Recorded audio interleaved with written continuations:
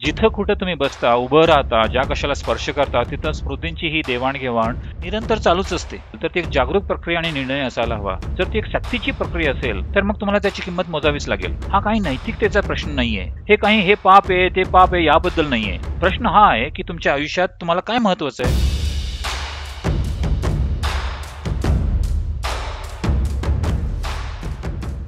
सद्गुरू एखादी व्यक्ती रिलेशनशिपमध्ये कशा प्रकारे एकनिष्ठ राहू शकते? एखाद्यावर प्रेम असूनही शारीरिकदृष्ट्या इतर कुणाकडे आकर्षित होणं हे नैसर्गिक आहे का? याबद्दल काय करायला हवं किंवा हे हाताळण्याचा योग्य मार्ग काय?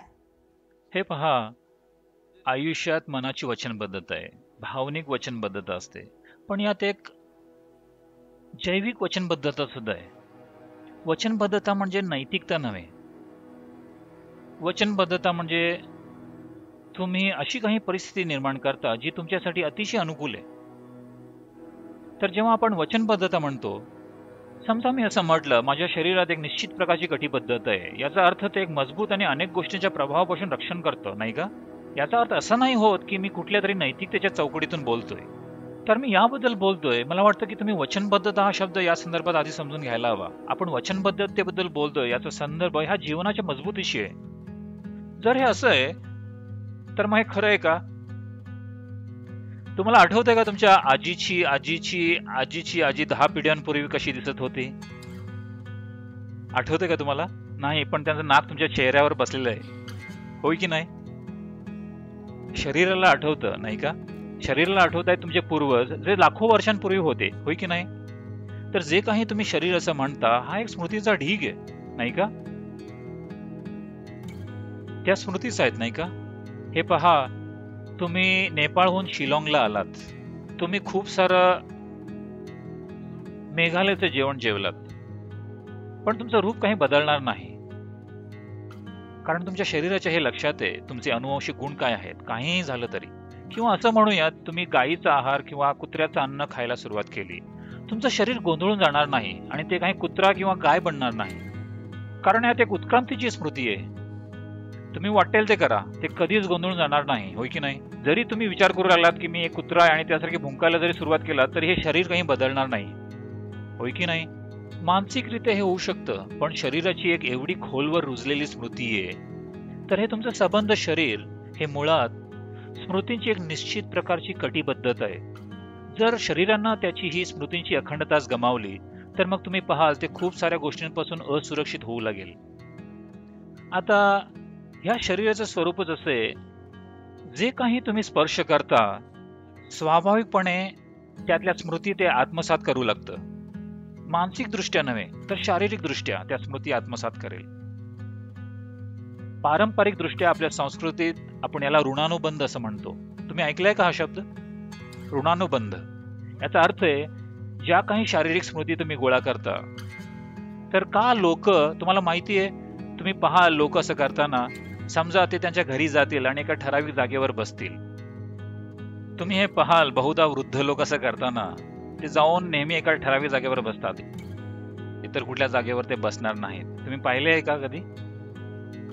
तुमचा कुत्रा सुद्धा तो येईल आणि जर त्याला तिथे बसायचं असेल तर तो याचा वास घेईल त्याचा वास घेईल त्याचा वास घेईल त्याचा वास घेईल आणि खूप काही शोधल्यानंतर एका ठराविक जागेवर जाऊन बसेल. पुढच्या वेळेस तुम्ही त्याला हकलून द्या कुठेतरी तो येईल आणि परत त्याच जागेवर जाऊन बसेल.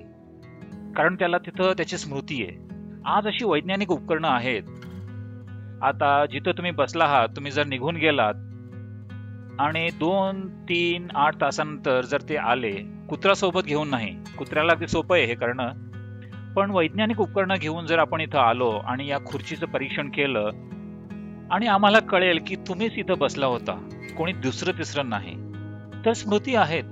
जिथं कुठं तुम्ही बसता उभं राहता ज्या कशाला स्पर्श करता तिथं स्मृतींची ही देवाणघेवाण निरंतर चालूच असते. तुम्ही नेपाळचे आहात. भारतात सुद्धा हे बऱ्याच वेळेस दिसून येतं. दक्षिण भारतात तर हे जास्तच आहे. उत्तर भारतात बहुधा हे कमी असेल. आम्ही लोकांना मीठ कधीच हाताने देत नाही. तुम्हाला माहिती आहे का? इथंही आहे का असं? जर तुम्हाला कोणी मीठ दिलं तर तुम्ही म्हणता कृपया ते तिथं ठेवा. कारण अशा काही ठराविक वस्तू आहेत ज्या स्मृतींचा प्रसार चांगल्या प्रकारे करतात इतर गोष्टींपेक्षाही. मीठ तीळ लिंबू अशा गोष्टी जर तुम्ही दिल्या तर पारंपरिक लोक म्हणतील तिथं ठेवा नंतर मी घेईन. कारण त्यांना तुमच्याशी ऋणानुबंध वाढवायचे नाहीयेत. आता भारतात जर तुम्ही पाहिलं जुन्या पिढीची लोक तुम्ही त्यांच्याशी हात मिळवण्याचा प्रयत्न केला तर ते असं करतील. कारण त्यांना तुमच्याशी ऋणानुबंध नको आहेत यामागची संकल्पना ही आहे की तुमच्या शरीराच्या स्मृतीची कटिबद्धता अशी ठेवायची की त्या इतर गोष्टींप्रती ढिल्या होणार नाहीत जेणेकरून तुम्ही एक संपूर्ण अखंड एक संद जीवन असाल. जर स्वतःला एका विशेष शक्यतेसाठी पोषित करायचं असेल तर मग तुम्ही तुमच्या स्मृतीची अखंडता टिकवून ठेवली पाहिजे. ऋणानुबंध यालाच म्हणतात म्हणजे तुम्ही तुमची शारीरिक स्मृती कमीत कमी ठेवता. एक लैंगिक शारीरिक संबंध ही एक अशी गोष्ट आहे ज्यात खूप प्रमाणात स्मृतींची देवाणघेवाण होते एकमेकांपासून. म्हणून नेहमीच फक्त आपल्या समाजात नव्हे तर जगात सगळीकडे लोकांनी नेहमी हे पाहिलं की ह्या स्मृती कमीत कमी ठेवण्याचे फायदे काय असतात. जर तुम्ही ती स्मृती फार गुंतागुंतीची बनवलीत तर तुम्ही पाहाल निवांत असणं अतिशय अवघड होऊन जाईल काही काळानं. सुखोपभोग असेल पण तुमच्या आयुष्यात आनंद असणार नाही. याचं निरीक्षण तुम्ही करू शकतात लोकांमध्ये. माझ्या म्हणण्यानुसार ठरवू नका. तुम्ही हे पाहू शकता लोकांमध्ये सुखोपभोगात व्यस्त असतील नेहमी खिदळत असतील पण त्यांच्याकडे पाहिलं तर त्यांच्यात आनंद असणार नाही सहज निवांतपणा असणार नाही. कारण हा निवांतपणा निघून जातो भरमसाठ स्मृतींमुळे हे फक्त लैंगिक शारीरिक संबंधाबद्दलच नाही तर बऱ्याच गोष्टी तुम्ही करत असता. सध्या तुम्हाला हे पाश्चात्य समाजात जास्त पाहायला मिळतं. जिथं कुठं मी जातो विशेष करून अमेरिकेत लोक येऊन म्हणतात सद्गुरू माझी झप्पी कुठे मी म्हणतो ती तुमच्याकडेच असेल. ती माझ्याकडे का असेल? कधीतरी तुम्हाला खरंच कोणीतरी तुम्हाला जवळचं वाटतं आणि तुम्ही त्यांना झप्पी देता हे त्याबद्दल नाहीये. हे म्हणजे प्रत्येक वेळी तुम्हाला लोकांना स्पर्श करायचं असतं. कारण आजचे मानसिक रोग तज्ज्ञ ह्या गोष्टीचं विश्लेषण करतायत आणि म्हणतायत की कारण लहानपणी ते त्यांच्या आई वडिलांच्या पुरेशा स्पर्शापासून वंचित राहिलेले असतात. जेव्हा ते मोठे होतात तेव्हा नेहमी उतावळे असतात कोणाला ना कोणाला स्पर्श करण्यासाठी. ह्या सगळ्या गोष्टींचा आयुष्यावर एक गंभीर परिणाम होतो. लहानपणी मुलाला किती प्रमाणात जवळून कुरवाळून स्पर्श केलेला असतो यावरून हे ठरतं की मोठं झाल्यावर शारीरिक स्पर्शासाठी ते किती असुसलेलं असेल. आणि हे लहान मूल आईकडून ज्या काही स्मृती आत्मसात करतं कारण जोपर्यंत हे मूल साडेचार वर्षांचं होत नाही तोपर्यंत अनेक प्रकारे ऊर्जेच्या पातळीवरही तो अजूनही आईपासून वेगळा झालेला जीव नसतो. अजूनही ते जोडलेलं असतं आईच्या शरीराशी. पण खरं पाहता जर तुम्ही निसर्गाच्या कालक्रमानुसार गेला तर बालकाने तोपर्यंत आईचं दूध पिलंच पाहिजे आणि तिच्याशी जुडलं पाहिजे जोपर्यंत साडेचार वर्षाचं होत नाही. आणि पूर्वी असंच होतं निसर्ग कालक्रमानुसार. कारण ऊर्जा तोपर्यंत परिपक्व झालेली नसते. म्हणून अधिकाधिक स्मृती ज्या तुम्ही आईकडून घेता हे अतिशय उत्तम असतं शरीराला प्रबळ करण्यासाठी. पण जेव्हा मूल मोठं होऊ लागतं आणि व्यक्ती म्हणून बाहेर वावरायला लागतं जीवन आपोआप स्वतःला आवरायला सुरुवात करतं. लोक माझ्याकडे येऊन म्हणतात सद्गुरू तुम्ही माझ्या मुलीला मुलाला आशीर्वाद द्याल का? सर्वात पहिली गोष्ट मी त्यांना विचारतो त्यांचं वय काय जर ते म्हणाले पंधरा सोळा अठरा तर ठीक आहे. जर ते एकवीसपेक्षा जास्त असतील तर मी नाही म्हणतो. कारण मी तुम्हाला आशीर्वाद देणं तो आशीर्वाद तुमच्या मुलाला लाभणार नाही. तुम्ही अजूनही भावनिक होऊन विचार करत असाल हे माझं मूल आहे. पण जेव्हा जीवनाचा संदर्भ येतो ते आता पूर्णपणे वेगळं झालेलं जीव आहे.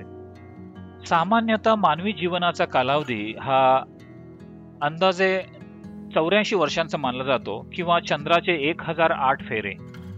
हे चंद्राचे फेरे आणि आपलं शरीर याचा अगदी थेट संबंध आहे. केवळ आपल्या आईचं शरीर आणि चंद्राच्या भ्रमणाची चक्र एकमेकांशी जोडली गेली आहेत म्हणूनच आपला जन्म झालाय. नाहीतर आपला जन्म झाला नसता नाही का? म्हणून एक पूर्ण आयुष्य म्हणजे चंद्राच्या एक हजार आठ फेऱ्या असं मानलं जातं. जे अंदाजे त्र्याऐंशी ते चौऱ्याऐंशी वर्ष असं मानलं जातं. जर एखाद्याने चौऱ्याऐंशी वर्ष पार केली की ते एक परिपूर्ण जीवन मानलं जातं. तर ह्या चौऱ्याऐंशी वर्षांच्या कालखंडातील पहिली एकवीस वर्षे एवढाच काळ मुलं पालकांशी जोडलेली असतात. त्यानंतर मुलांनी बाहेर पडलं पाहिजे. कारण ऊर्जेच्या पातळीवर दोन जीवांना यापुढे तुम्ही पुन्हा जोडून ठेवू शकणार नाही. म्हणून जेव्हा ओढ जर तुम्ही तुमच्यात पुरेशी कटिबद्धता बांधली नसेल तर दुसऱ्या शरीरासाठीची ही ओढ वाढतच जाईल. जरी तुमच्यात हार्मोनचा प्रभाव काळ जास्त असला पंधरा वीस वर्षादरम्यान इतर कुणाशी तरी जुडण्याची आणि जोडली जाण्याची ओढ ही एकवीस वर्षांच्या नंतरच वाढत जाते. कारण नकळतपणे तुम्ही तुम्ही एका छोट्या सॅटेलाइट सारखे असतात ज्यांचा संपर्क मुख्य सॅटेलाइटशी तुटलेला असतो. मदरबोर्डपासून तुम्ही विभक्त होता आणि आता तुम्हाला इतर कोणाशी तरी जुडायचं असतं जोपर्यंत तुमच्यात वचनबद्धता प्रस्थापित होत नाही. म्हणूनच पंधरा ते अठरा वर्षादरम्यान शरीर मजबूत बनवण्यासाठी एखाद्याने बरीच साधना करायला हवी. जेणेकरून तुम्ही इतर कशाशी किंवा कोणाशी तरी जोडले जाण्यासाठी असुसलेले असणार नाही. तुम्ही हे जागरूकतेने जर तुम्हाला कुणाचा सहवास हवा असेल तर ती एक जागरूक प्रक्रिया आणि निर्णय असायला हवा. जर ती एक सक्तीची प्रक्रिया असेल तर मग तुम्हाला त्याची किंमत मोजावीच लागेल. हा काही नैतिकतेचा प्रश्न नाहीये.